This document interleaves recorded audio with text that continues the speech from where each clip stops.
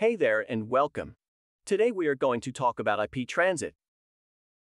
The Internet consists of Internet service providers of all shapes and sizes.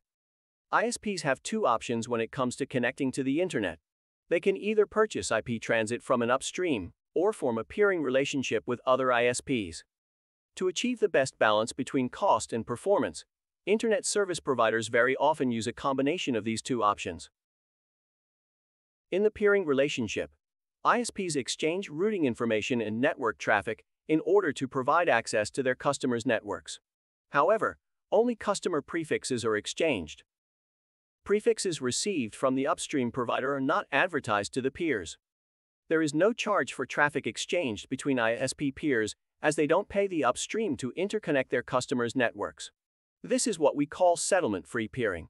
The ISPs pay only for the port on the fabric at the public peering point.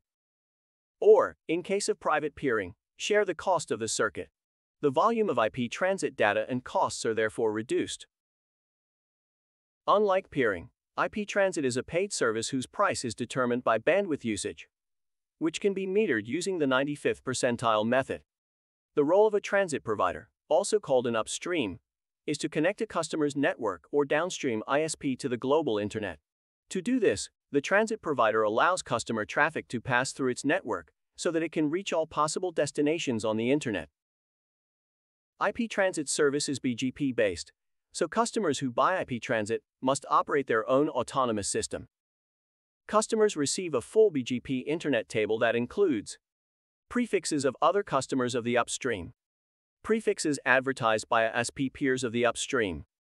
Prefixes received by upstream from its own upstream providers. A transit provider advertises all customers' prefixes to its peers and to all upstream providers. ISPs are organized into a hierarchical structure that consists of three tiers. Tier 1 transit providers have a global reach and are considered the backbone of the Internet. They do not buy transit service, and peer with each other at zero cost. Such networks connect lower tier ISPs and charge them to allow traffic to transit their networks.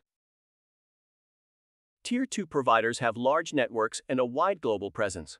Such providers peer with each other to reduce costs associated with IP transit, but they also need to buy service from the Tier 1 providers.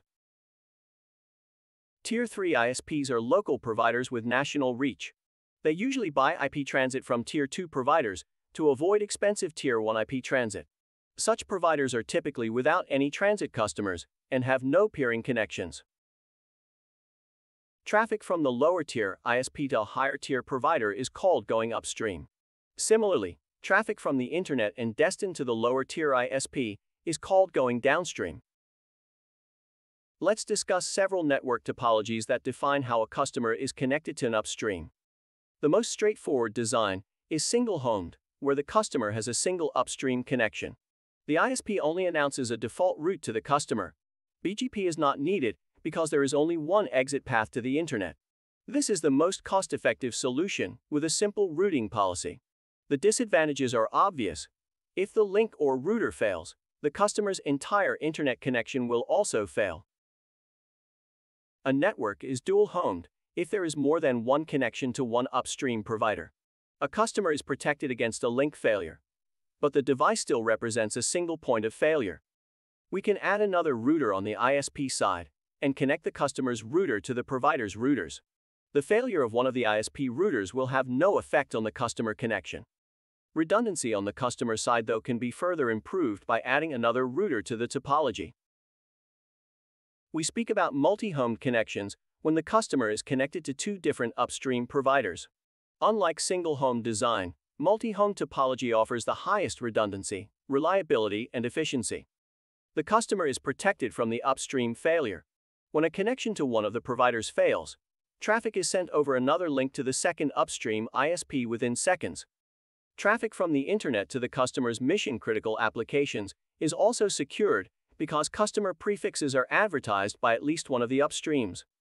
The customer can configure specific BGP routing policies to manipulate BGP path attributes to prioritize one of the links for both outbound and inbound network traffic.